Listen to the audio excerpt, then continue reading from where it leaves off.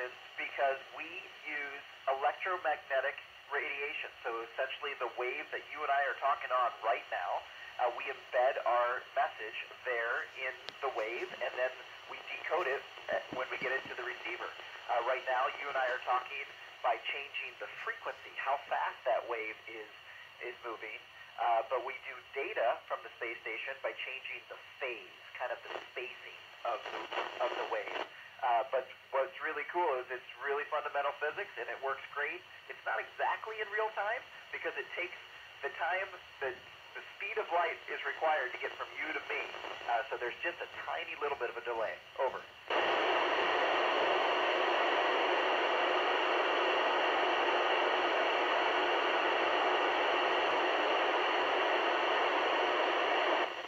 That one was a little tough to understand. I think you asked how we spend our time here on, on the space station, and we split our time.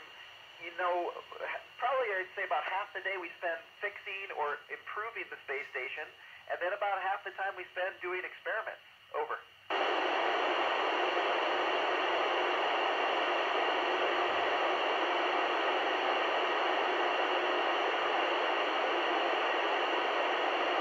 Oh, I'm sorry. I think that was the question. I, I heard you ask, are we always working on experiments? And we are not always working on experiments. The International Space Station is a very complicated spacecraft, and so it takes a lot to keep it running and keep it running well and even making it better. So sometimes we find ourselves outside doing spacewalks. Uh, we just did that recently, and we installed new solar arrays so that we can provide electrical power so that we can power things like those experiments uh, but we've got a variety of experiments that we work on on the inside. There are some on the outside too. They're super cool. Over.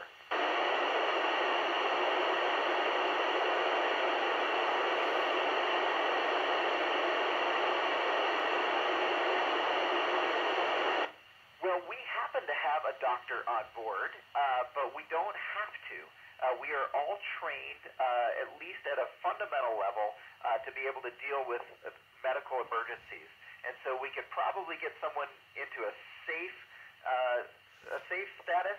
But if it's really bad, uh, what we could do is we could get in our spacecraft and we could come home, and we could probably be home in just uh, probably 12 to 24 hours.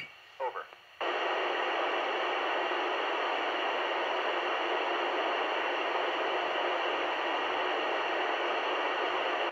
Well, it's very much like we eat and drink on the ground, uh, but it sometimes is a little bit more messy. If you spill something up here, it goes everywhere. And so you try to catch your food before it sticks to the wall or to the ceiling. Uh, but uh, when we put it in our mouths, it really very much is uh, like eating on the ground. Over.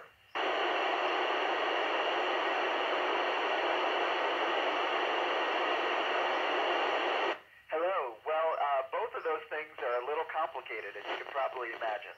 Uh, we don't really have running water to take a shower. Uh, what I've done is I've kind of come up with my own little personal jacuzzi.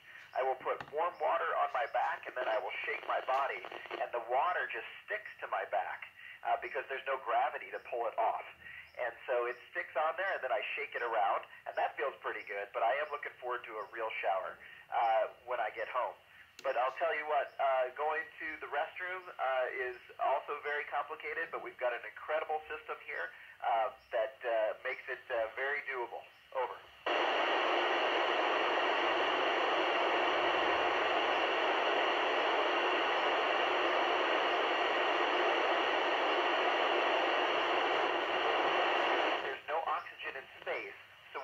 do is we